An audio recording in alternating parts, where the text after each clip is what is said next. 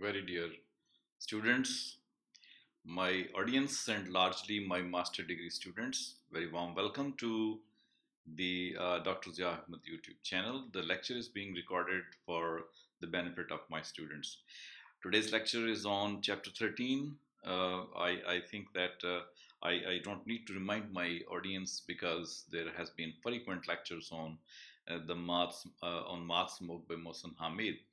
But just uh, for the sake of little reminder, I would like to add that uh, there are significant characters in it, like Murad Badshah, the villain of the story, and Daru, partially the protagonist, and then it's the villainous activity as well. It could be Uzi, the gentleman, and the very thoroughly educated and rich person, and uh, then we have Mumtaz, the most loving character in this novel. This chapter is going to provide us a lot of uh, commentary on the characters of other people with the point of view of Daru himself. He will be speaking and talking to us in such a way that we will be able to know more details about other characters and also will be able to get many answers to the many questions that this very complex tale has brought before us. So let's have a start with the, uh, looking at the characters through the angle of Daru in this chapter. The chapter is here, as you can visualize. It says that my cocoon is tight, and contained by my broken body, blood, wet flesh combined with cloths bonding me to my bandages, eyes shut by swelling, see only orange, translucent light. So that is the introduction of the chapter. And this introduction is uh, telling us the story of some event that has taken place in some last uh, chapter that Daru was very highly, very, you can say, severely bitten by the father of some boy, Shahzad, who uh, was given drugs by Daru. And so he was caught up and ultimately beating took place. So it's a reminder of that, not only the reminder of that beating, but also the reminder that this is the condition in which Daru or Darashikoh is present. How does he see at this word when he is present in his room and is visualizing the things which are happening with him and is contemplating on different type of uh, things which he possibly uh, uh, might come across and or might have come across or is trying to let us know how he was. So that is what we are going to read it. So let's go down into the chapter and see what are the important details that we can have. So here in the uh, first two, three pages, we don't have something important because it is just a repetition of different issues. For example, uh, here if we see, we, we uh, let me show you, here if we see there's a captioned line that says, uh, when I look in the mirror, when I see what's been done to me, rage lifts my eyelids and twists my reflection. I cherish the anger, center myself in it, draw power from it, strength for my healing, because I will heal, and then it shall be my turn at the crease, and I won't be gentle with my bat. You see, that is the uh, resolve uh, which Daru is having uh, in his mind that as soon as he gets okay, he will be there to meet the people and beat them. And he says that he will be beating them uh, with the bat which he is having with him. And uh, uh, fortunately or unfortunately, he says that he will take full revenge uh, by beating them. And I say that my, my bat is not going to be easy with them and that's the type of thing he's thinking about that so his beating has not brought him to his senses not brought him to something which which corrective measures may be taken but he's still going to take revenge from these people so he is a revengeful person and he wants to take revenge from those people. Though he's himself doing something wrong with the child, but still he thinks that he uh, does not deserve this type of treatment. So let's see more into it. This is Daru. This is the type of person we have occasionally come across in this novel. And a few lines here and there I just uh, show to my students that they are important lines and if they want to see them, they can. Otherwise, they don't deserve to be uh, so much critically comment for the sake of examination. And here again, rich man's wish has been shown through these lines. That's not also once again very much important. Uh, every woman, maybe she's rich, she, she needs to talk these things about the man she would like to love or the way she would like to adopt in her life. For example, here Mumtaz is talking and saying perfect foresight, little courage, and time machine. This is the kind of thing she would like to see in a man and she would like to see about herself as well. So that's not that important. Okay. And here comes the paragraph which possibly is uh, having some importance. Uh, the dialogue starts here for me, yes, but which one of us is the problem? Uzi is a good father. He's sweet, he's generous, he's smart. I feel the muscles in my chest contract. He's rich. He's got everything he wants. He's perfect. She pulls back. Why are you so bitter? He's a bastard. So these are the lines which are really significant to consider. What does Daru see about Uzi, the best friend from the childhood, and now he's having relationship with the wife of that very best friend. But the wife is becoming gradually the matter of property, the matter of possession, that which one should be having possession of this woman. And when the same woman tries to say that Uzi, her husband, is really very good person, he's smart, he's generous, he's sweet, and having a lot of things, this makes Daru itch and says that he's a bastard.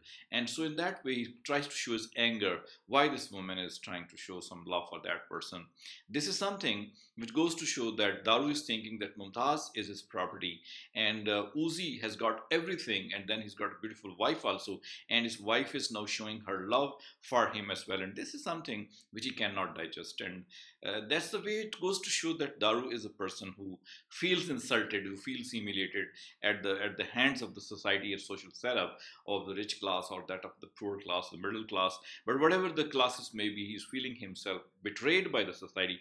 So that is why thinking, like any young man, that on the one hand, you look, a person has beautiful body, then has money, then has sweetness, then has the appreciation, and a beautiful wife also. Everything is with him. And on the other hand, Daru-like gentlemen are there who don't have everything like that. So in this way, this paragraph becomes the comment on uh, the general public uh, or general people of our country who are deprived of young men, especially who have gone jobless and are unable to secure a very good job for them. That is the way they would like to react and say, "Why me?" Because everybody is having everything, as Daru is saying. Why me like that? So in that way, whatever the crack Daru could put on uh, on Uzi uh, his family's richnesses, his wife, or, or Muazzam, the son, he is trying to do that. But still, he thinks that he should have been also treated in the same way as the Uzi uh, his friend has been dealt with.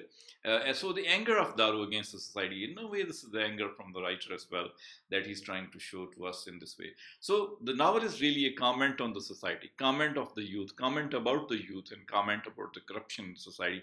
So the, in these angles, these things should be taken in order to have a better grasp. And if you go further, we'll be able to find such things, more such things, which will clarify the view. The students can read the gaps which, which I'm leaving. Uh, here in this paragraph, let, us read this paragraph. It is very fascinating. And I ask myself what it is about me that makes this wonderful, beautiful woman return. Is it just because I'm pathetic, helpless in my current, uh, my current state, completely dependent on her, or is it my sense of humor, my willingness to tease her, to joke my way into uh, the painful secret places? Do I help her understand herself? Do I make her happy? Do I do something for her that her husband and so son cannot do? Has she fallen in love with me? This is something uh, that I should every young man may be thinking that every rich woman would fall with him, fall in love with him. Even if she is talking to him, even if she is spending some time with him, and the man would think, okay, she's fallen in love with him. We are finding that love has got a very different meaning in a very rich class, as Uzi's wife Mumtaz is there.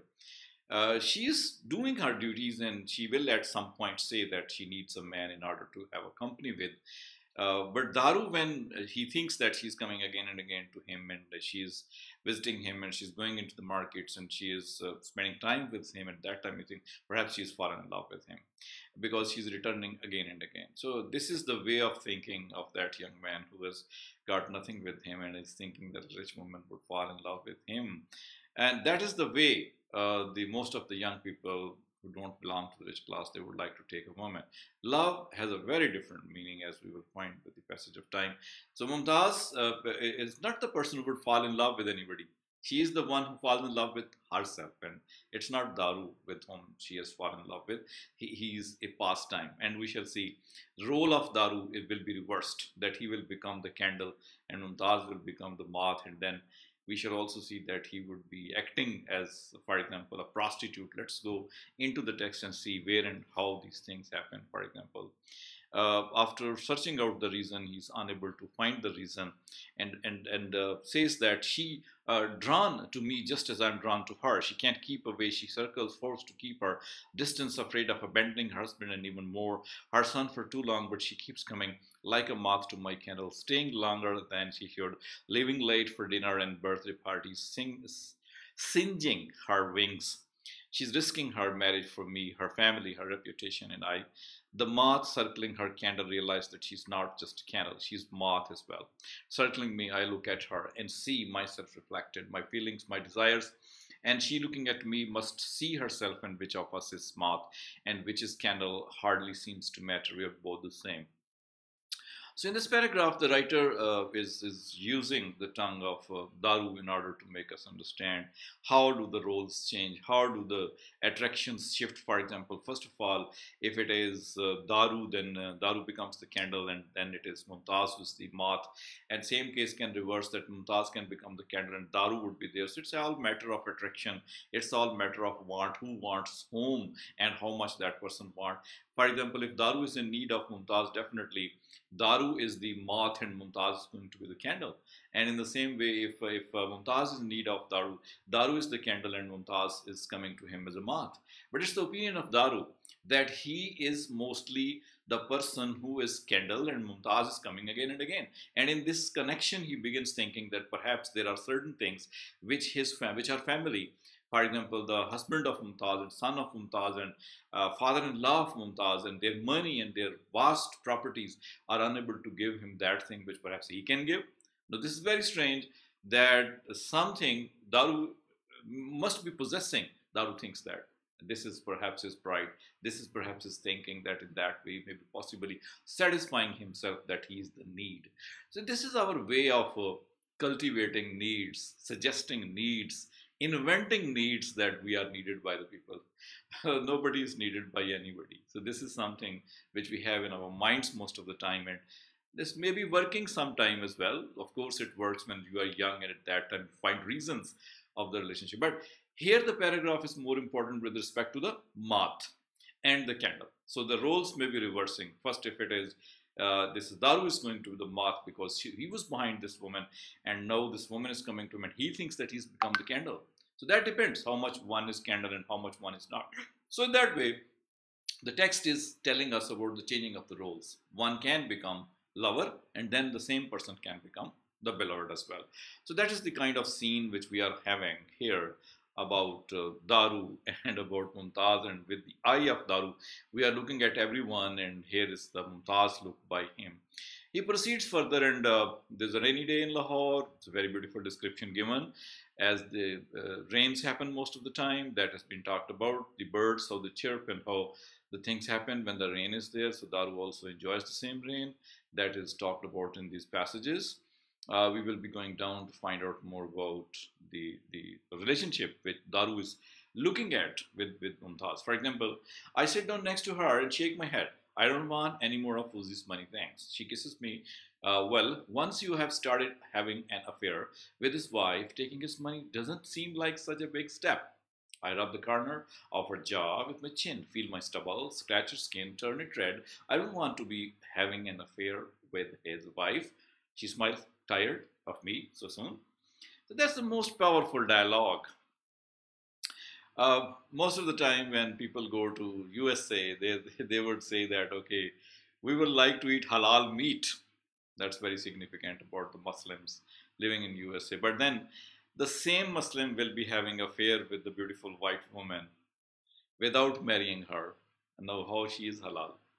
Same is the case here that Daru is having the affair with Mumtaz, the wife of Uzi. But when Mumtaz tries to give him some money, at that time he says, I don't need the money of the, the of, of Uzi. Why should I have it? This is wrong. But then Mumtaz is there to utter out the most powerful dialogue here. He says that you are having the affair with his wife and what of the money. So this is something which goes to reveal the natures of the people, the styles of the people, that they are ready to accept that thing, which is of their choice. That may be wrong, but they will accept that. But if something is not of their choice, they won't accept it giving reasons for that that we are not going to accept it. So same is the case with daru. So in a way daru is just a common person. Like anybody he's not a special person he's a common person and behaving like that very common person as well. Trying to take control of his pride of his uh, psyche and then uh, whatever he thinks about himself he tries to preserve that. So this is what daru is thinking about mumtaz about his money as well Going down and finding out more like that, for example, Mumtaz is here speaking something very interesting. I love you, stop saying that. I pull on her shirt again gently. Do you think you can go back to Uzi? As though nothing ever happened. Daru, I don't have to go back to him. I'm married to him. I would have to leave him to go back to him. But you started this. He shakes my hand.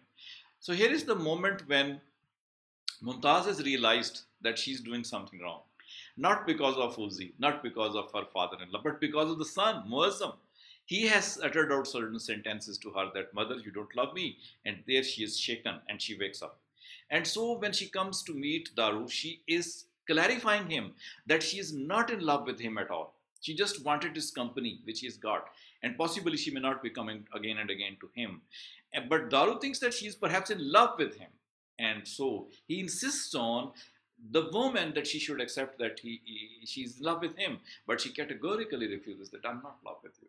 And even when uh, he touches the very softer side of uh, Mumtaz by saying that uh, you want to go back to your husband, are you not attached with me? Mumtaz utters out the most powerful sentence: "I have not to go back. I'm married to him." So there's no chance of not going back to him. It's no, it's not in, to be invented. It's already there. So that is the kind of situation in which Daru finds himself when Mumtaz is not ready to accept that he is in love with him and he is there to impose this sentence, this kind of situation on her that she must accept that love matter is there. So in that way, the dialogue continues further and let's see how does it proceed uh, down the lane. Daru, I'm married, I have a son, I'm not looking to mate. I'm looking to be with a man for me because it makes me happy. So that is the sentence possibly this thing which I am going to color here, if you people are able to visualize, this colored line is very, very significant about the woman. Uh, Mumtaz that we are having critical study on. Mumtaz, the woman, she says that I am not looking for the company of a man to mate with him, but only to be with a man who is for me because it makes me happy. So that's the company which she needs. That's the kind of friendship she needs. Sex is not important for her. And this is something she makes it open to Daru that Daru should not think in these terms that she has fallen in love, she will be giving her husband, she will be marrying him. It's not going to happen at all. She says that I need happiness, and that happiness was present in meeting Daru, and that happiness she wanted to continue with. That's something she makes it clear. But Daru is thinking in other terms as well. He thinks that all these things will be topsy turvy. Let's see how does it topsy turvy okay. And then so going down with the same dialogue with the same feeling that Mumtaz is not ready to accept to be the beloved. And here he uh, Daru says about himself I am at once furious and ashamed. Furious because people give money after sex to prostitutes and ashamed because I'm so hungry that I have to take it but I'll make a decision to hell with handouts and here uh, very surprisingly irony of fate is here that Daru is, you know, being bought, Daru is being helped, Daru is being given money. And he thinks that it is just like the prostitutes, that prostitutes get money from their clients, and here he is getting money from his client.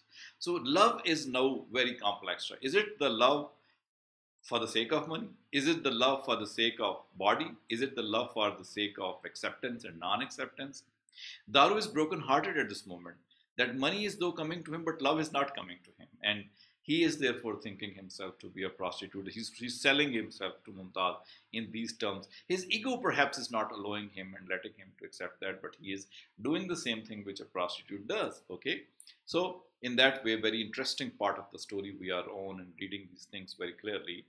The entire city is uneasy sometimes in monsoon. So again, talking about the rain. So I am skipping these lines because every one of us knows very well what happens in our cities when rain is there. Most of the roads are blocked, most of the bridges are blocked, and so people are in difficulty. But the shift takes place in this chapter because we have Murad Badshah once again the evil genius, all the time ready to perform any kind of evil. And here he is present once again and gives the plan to loot a boutique or plunder a boutique to, to Daru so that they can have a lot of money because he thinks that boutiques are full of the ladies and the uh, wares of the ladies and their, their money could be abundantly available. So that is why uh, he would give a plan to Daru to loot it. So according to that plan, they proceed further and they want to have, you know, wear good clothes and have guns and they think that the dacoits should appear very good etc this is just not important. Uh, the way they are going the dacoits don't need to be decent at all. But perhaps uh, the writer wants to give the impression that sometime it is happening that the dacoits are not the common villagers who have become dacoits but they are city dwellers and so in that way they continue. So heroin sell selling of heroin the police people buying of the heroin all things are going on. Uh, the evil is being enhanced by mentioning these things that looting of the boutique selling of the heroin the drugs and so many other things these things are going on in this in this novel. Uh, so this is a paragraph perhaps that we should pay some little attention. I'm getting good at moth badminton I now play sitting down and try to be unpredictable so the moths will never know what it's safe.